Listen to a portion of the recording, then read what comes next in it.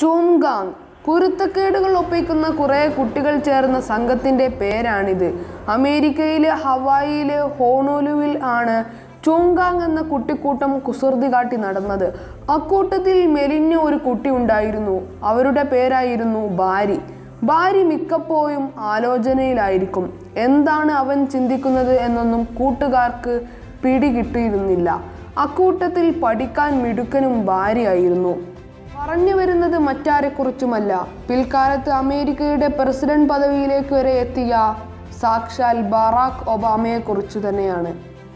Barack ഒബാമയുടെ ജീവിതം തുടങ്ങുന്നത് ആയിരത്തി തൊള്ളായിരത്തി അറുപത്തി ഒന്നിലാണ് കെനിയയാണ് ഒബാമയുടെ പിതാവ് ബറാക്ക് ഒബാമ സീനിയറിന്റെ നാട്.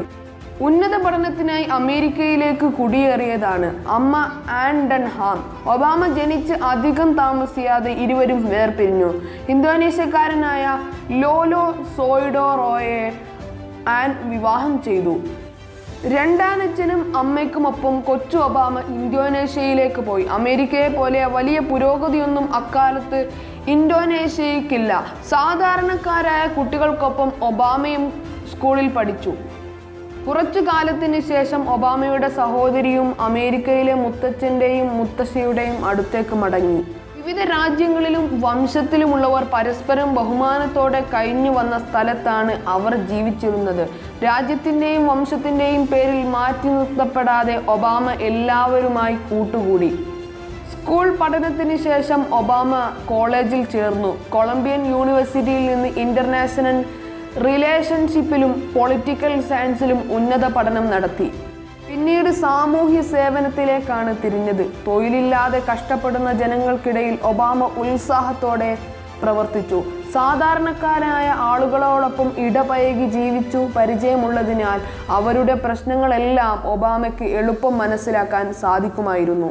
ഒബാമ പിന്നെ ഹാർവർഡ് ലോ സ്കൂളിൽ നിയമപഠനത്തിന് ചേർന്നു. വളരെ വേഗം തന്നെ നിയമകാര്യങ്ങളിൽ ഒബാമ വിദഗ്ധനായി.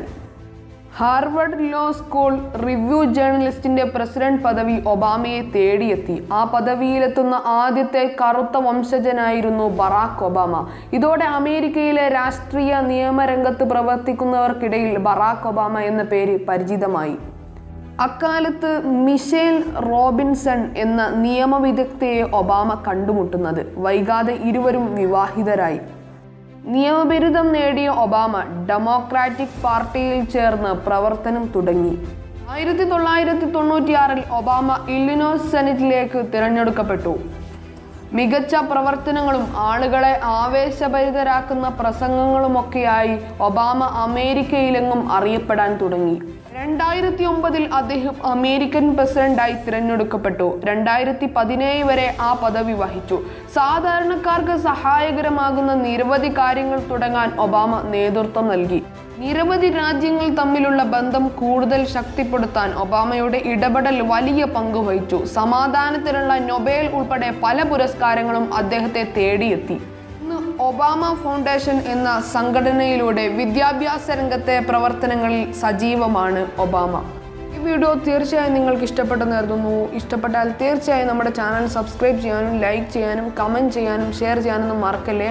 അപ്പോൾ സ്ഥിരം നമ്മൾ എട്ട് മണിക്ക് രാത്രി എട്ട് മണിക്ക് വീഡിയോ അപ്ലോഡ് ചെയ്യുന്നുണ്ട്. അപ്പോൾ എല്ലാവരും കാണാൻ മറക്കണ്ട. Bye guys.